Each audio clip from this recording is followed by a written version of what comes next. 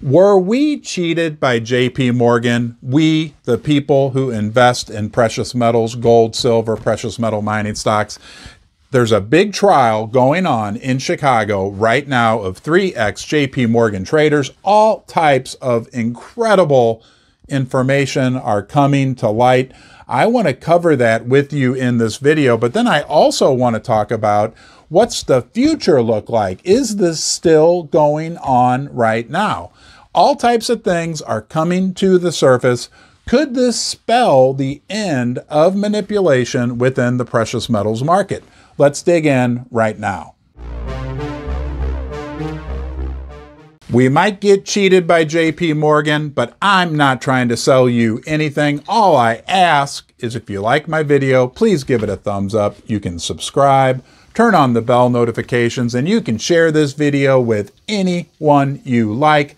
Now, three guys are on trial, and the government, the prosecutors, have a cooperating witness in this trial against the three JP Morgan traders who apparently systematically over a more than 10 year period executed 50,000 trades where they cheated the market by engaging in a process called spoofing. Let's just look at some of the quotes from this Bloomberg article that I read this morning on the subject. Our job was to do whatever it takes to make money using spoof trades to manipulate prices for all sorts of precious metals was an almost daily method for generating profit, said John Edmonds, who worked as a trader at the bank until 2017.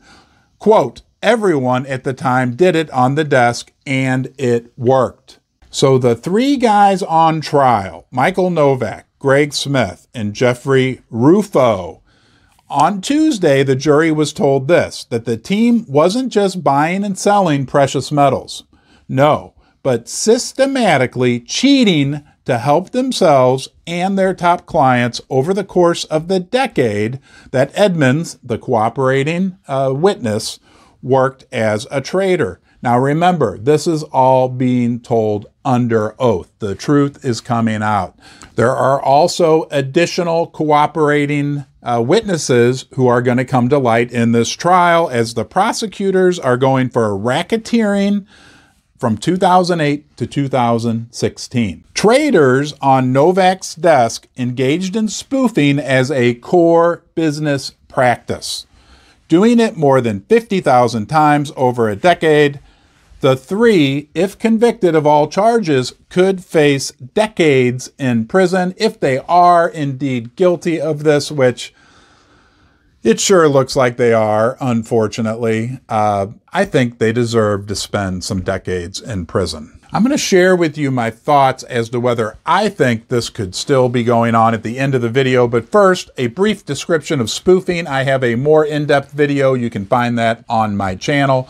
But spoofing essentially is the process of creating artificial demand or artificial supply to encourage or scare what would be an otherwise normal market participant to make a decision they wouldn't otherwise make. At least that's my definition of it. Now, a simple example of spoofing. Let's say you're a farmer, you want to buy a new tractor, you hear about an auction going on in the neighboring county. There's going to be a really nice tractor going up for auction. You go to the auction, there's you and two other people you think, oh, hey, cool, I got a pretty good chance of getting this tractor. It's not going to get bid up into infinity.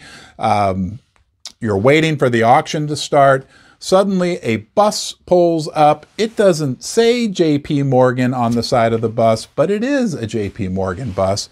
And lo and behold, 50 people get off the bus and they're all running over to look at this tractor and they're pointing at it and acting like they're interested. But that's the fact they're not really interested, okay? JP Morgan is also the guy selling the tractor, and he had these fake people, this fake illusion of demand show up to scare the real buyers into paying more for the tractor. That's exactly what JP Morgan would do when they were wanting to sell gold. They would want to sell gold at a higher price than the market. So they would put through a flood, I mean, flood of fake orders on the buy side, which would scare the uh, natural buyers in the market into paying more, taking action sooner because they're afraid. Look at all these people coming in to buy.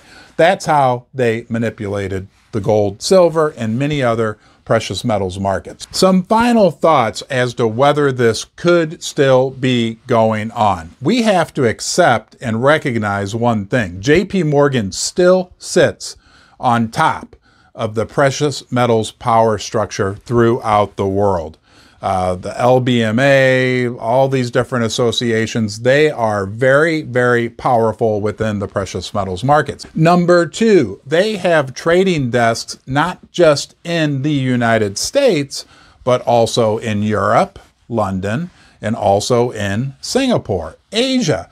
They have a model that's called follow the sun, meaning they're able to trade these metals and control the market on a 24 hour basis. So they very well could still be trying to manipulate the precious, precious metals markets. However, everything is coming out in the open now. So that gives me reason for optimism, okay? People are going to be watching like a hawk. Now, what goes on with JP Morgan? I think we may be getting to a point where this manipulation could be coming to an end. One thing for sure, it's very unfortunate that the bank did this over the years that they did it. Okay, that's bad. It hurt us, it hurt a lot of other people. But we can be optimistic now with more transparency as to what's going on that the situation will be closely monitored and that we could be in for brighter days within the gold, silver, and other precious metals sector. One thing for sure, I'm going to be here with you through it all. I appreciate you joining me in Ron's basement. And until next time, you be well.